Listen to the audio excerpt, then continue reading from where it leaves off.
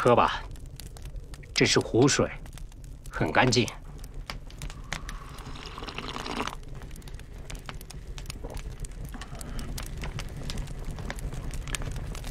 多吉大叔，您在这儿多久了？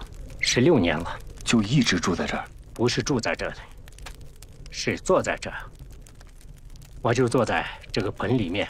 我坐进去的时候，发了一个誓：此生不悟道，就不出来。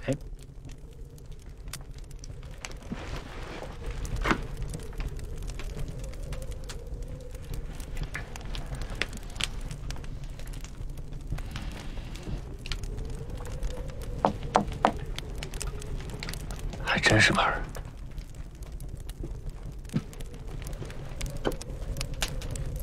哎，那刚才您不就算是出去了吗？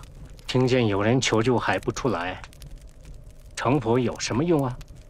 这个事遵守不了了，下辈子吧。哎呦，实在不好意思，我耽误您悟道了。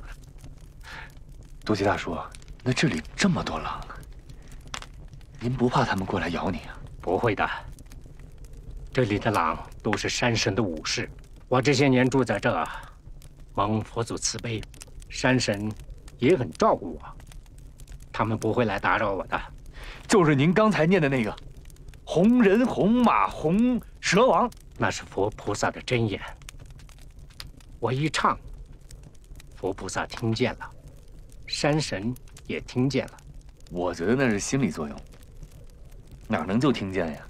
又不是打幺幺零。佛菩萨的真言，你在世界任何一个地方念诵的时候，他都能听见。你害怕什么？你想要什么？然后佛菩萨尽一切能力帮你达到。我听懂了，真言就是佛菩萨的电话号码。